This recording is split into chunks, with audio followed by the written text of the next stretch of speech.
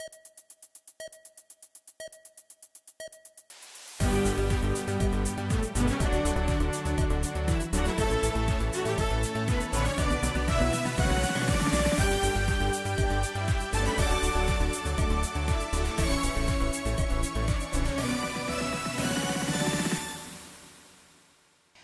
You're still watching The Breakfast on Plus TV Africa. It's now time to take a look at what's happening with the papers. All the headlines making the rounds with the help of our guest will unravel what's behind them.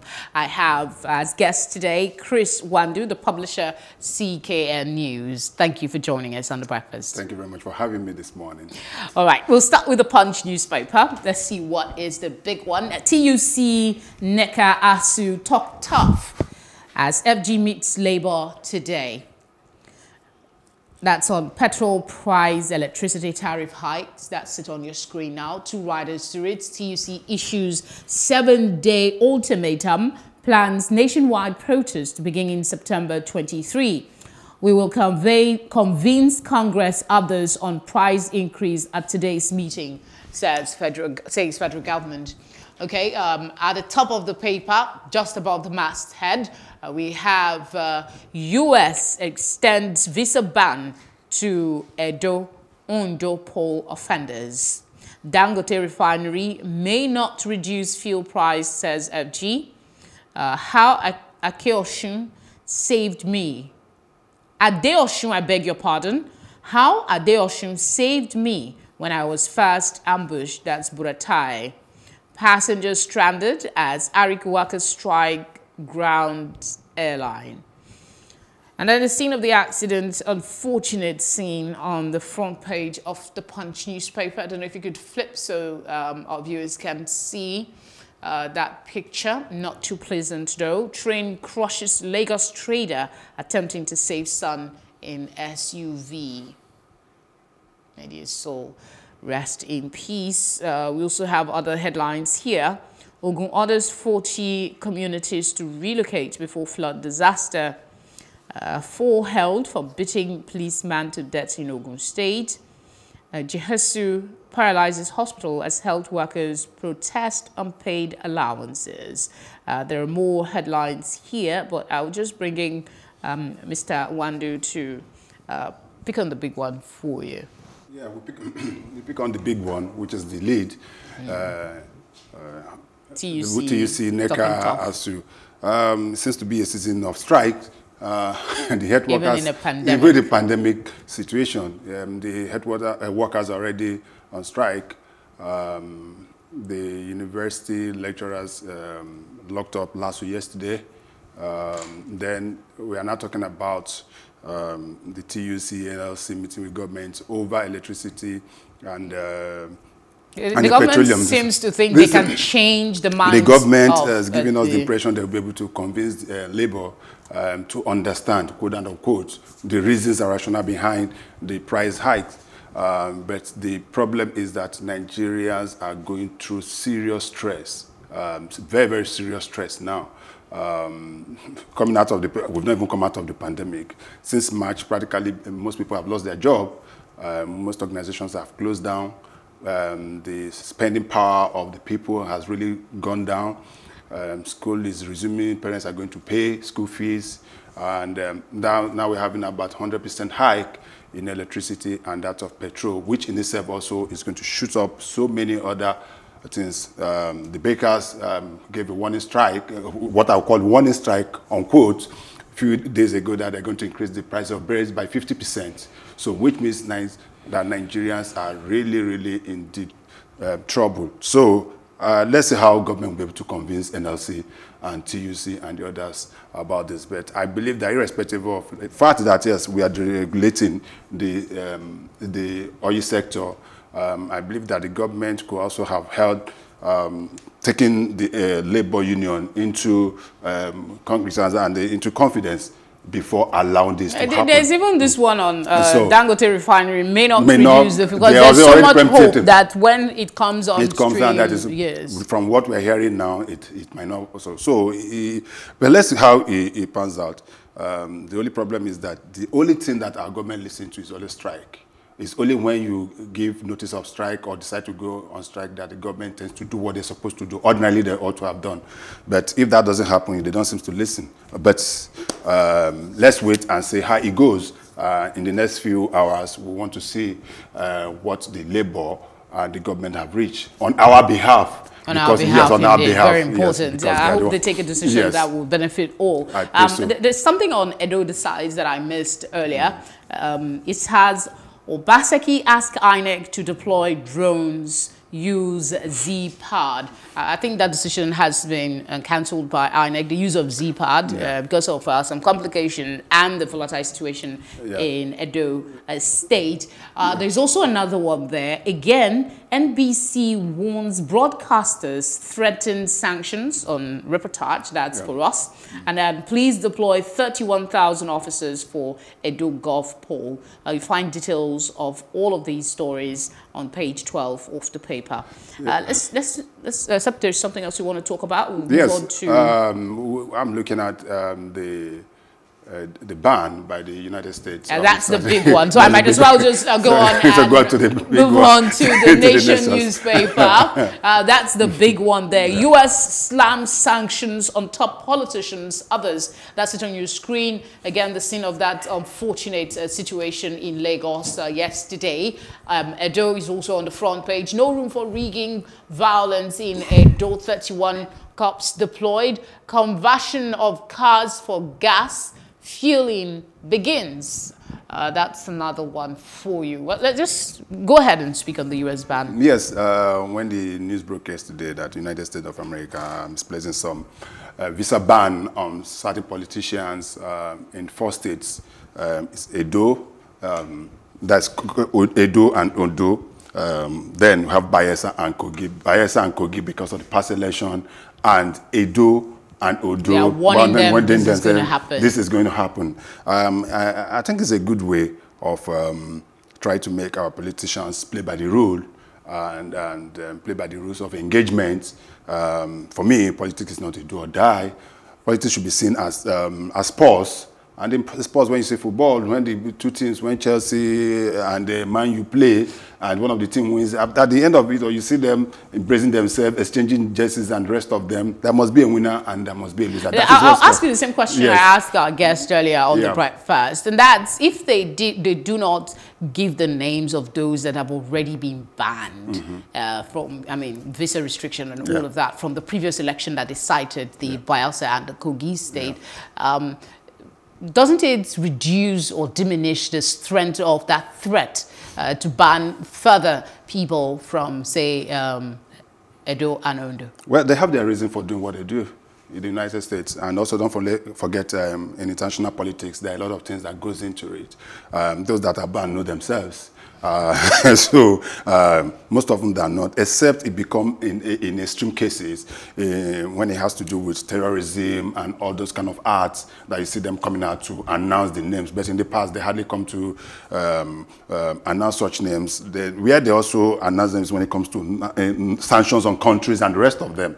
But on individual basis, don't forget what happened during, the, um, during almost before the last election, where um, Atiku Abubakar was that, oh no, he cannot get to the go to the United States, I will not go to the United States. And then he went to prove us all wrong exactly, that he could go. Yes, and they did. So uh, most of them, are not, there's a more diplomatic way of doing that. I'm sure they must have passed that to the Federal Ministry of um, Foreign Affairs and the relevant authorities and uh, as well as Nigerian security agencies, they know. Uh, but we as Nigerians, we always want to know you know, um, because by then they name you and probably quote unquote shame you, the tendencies for others to not engage in that. Because but when you keep it, somebody might just say, I'm not going to the US in the next five years, but don't know that has been banned from coming to the US, you, if you understand what I'm trying to say. So, but they, I, have, I think there are more diplomatic ways of going about it, and that's what they're trying to do under okay. the circumstances. Uh, we're still looking at the Edo election because that seems to be yes, know, closest yes, on everybody's yes, mind Edo, now. Yes. Uh, that's uh, this day newspaper. Yes. Okay. It says, will of the people shall prevail in Edo. INEC assures critics, that's it on your screen, suspends use of ZPAD for accreditation. Abdulsalami Kukah to superintend peace accord today. And then, of course, the deployment of policemen and the visa ban captured underneath that screamer. Above the masthead, we have CBN releases framework for implementation of $2 billion solar project. Uh, let's go back to that assurance um, by INEC, the big one, before we go look at other headlines. What's yes, yeah. Um, INEC seems to be ready. Um, I like the assurances, um, but I'm not over optimistic um, because um, several times in the past, INEC has promised and failed in certain, in certain um, periods. Uh, what about the security agencies? I mean, yes, the IG is speaking really tough. Yeah, it's speaking tough. 31,000 policemen to be deployed, but we also also almost a similar number of policemen deployed to Kogi State during the last election. Saw what happened. People were killed, um, ballot, um, um, voting centers and uh, ballot boxes were snatched and smashed and rest of them. A lot of people couldn't come out to vote. Those that voted couldn't even vote, the result sheet and rest of them. So the politicians have a way of doing these things. And um, where they, they, they go to areas where they think um, their opponent um, may be winning and go there and disrupt and at the end of it, or if, if you cannot uh, get a result from that, INEC cannot uh, announce. So whatever INEC, the sources or otherwise of INEC sources um, at the pool also depends on the um, on other factors, uh, chiefly um, security issues. Um, I hope that the number of um, policemen being de uh, deployed to Edo will be able to deter uh, would be troublemakers. But I also want to see some military presence. It, is key uh, our people don't. We are now used to military. They are not ideally. They are not supposed to be in well, situations like this. That is what we're into because other other in other clients, people just walk, go to the office during break hour, just walk um, across. Vote, vote, and go back to the offices. But here we close market, we close road, we place uh, curfew, all sorts. At the end of it, all, we still don't get it right. Um, but the whole, my own challenge here is that I hope at the end of it all, INEC, the will of the people will come, to, come play. to, play. Okay, uh, still talking um, elections, but uh, let's talk about uh, security yeah. of it. I think I'll skip that headline. Let's go to another one. Gunmen kill two FRSC personnel, abduct 10 others in Nasarawa. That's talking security now. Uh, that is also captured on Business Day. Uh, Business Day has poverty constitutes biggest security threat to Nigerians. Uh, what do you, I mean, we've had uh, cases in recent times of kidnapping. Uh, there was one in Delta State. I'm not sure now um, if the lady has been uh, reunited with her family. You hear it almost on a daily basis. An undergraduate kidnapped here, ransom paid, more demanded, and then we have this scenario. Now, the business day saying poverty is constituting to this increase. Um, in in crime? Yes, uh, before going to that, let me first of all commiserate with the Corps Marshal of Federal Road Safety, um, Dr. Boboye Oyeyemi, on the death of um, two um, road safety officers. Um, it's touchy to me because I'm involved with um, road safety issues. I'm the coordinator of it's the... It's touchy to all Nigerians. Yes, uh, I'm the coordinator of the Federal Road Safety Celebrity Special Marshal in Nigeria. So I know uh, the impact of that. And now 10 of those officers have been kidnapped. Uh, nobody knows where they are presently. Um, efforts being made um, to, um, to get them released.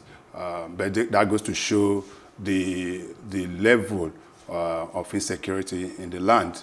And um, something must give, uh, and we must start making sure that Nigerians, irrespective of where they live, um, are safe um, talking about poverty, um, causing insecurity and the rest of course, uh, a, a, hungry man is an angry man, uh, but that does not necessarily mean that a lot of people that um, are poor, but they, they don't go into crimes. So I personally don't, I don't buy that. The fact that you're poor doesn't make that you must be a criminal. If not, then practically seven out of 10 Nigerians uh, might be criminals. So it's inbuilt. Some people just decide that they want to be criminals. There are some people that are very, very rich and also into criminality. These so-called uh, kidnappers and the rest of them, some of them raking millions and millions on a daily basis from people. And they don't forget uh, our well, man. If it is not addressed, yeah, I so mean, I think this is more like a projection. It constitutes the biggest security threat. It does. It does. I agree. But the fact, what I'm trying to say in essence is that we should not hang it. It's a societal issue. It's not just uh, about poverty. It is we losing our value. People, people no longer value life. People no longer value their names. People prefer or they are interested in making money, whatever. And nobody cares to ask you how you made your money. Once you can be able to bring that money and spread around, people just, you see musicians and the rest of them singing your praise, irrespective of how you get the money and the rest of them. So uh, it is a societal issue, and I believe our religious leaders also have a lot to play in this. The family, parents have a lot to play. Then people engaging in peer groups, where people, at times, they have a saying in my place that they say the goat will know the eat yam, begin follow the one with the eat yam, he go begin the chop yam. And that is, those are the kind of things that happen. So I, I believe that uh, we have a lot of problem. It's a time bomb waiting to explode. I hope it doesn't explode. I pray we so have much. the Guardian and newspaper Nest for review. Um, energy pipelines damaged 9,420 times in five years. Uh, that's uh, the big one here. Energy pipelines damaged 9,420 times in five years. Cost of repairs set to hit 1 trillion naira. Why pipeline vandalism persists. INEC, please go tough. Four days to Edo election. A couple of riders uh, underneath that story for you. Uh, TUC gives seven-day strike notice over electricity fuel price hike. NJC NBA insists on Ikpeme as Cross River Chief Judge. Adeniyi, we removed Akintoye because he cannot lead Yoruba anywhere. That's uh, politics inside the Guardian newspaper. Um, um, let you make your pick. Yes, um, the level of um, pipeline vandalism is, um, is very alarming. And um, I, I've just continued to wonder why we are spending so much money, billions of naira, in security, in providing security for the pipelines, because I know that NNPC um, and the Ministry of Petroleum spent billions and billions of naira uh, in protecting, in getting security agencies, certain uh, private security agencies to man um, those. And that is the challenge we are having.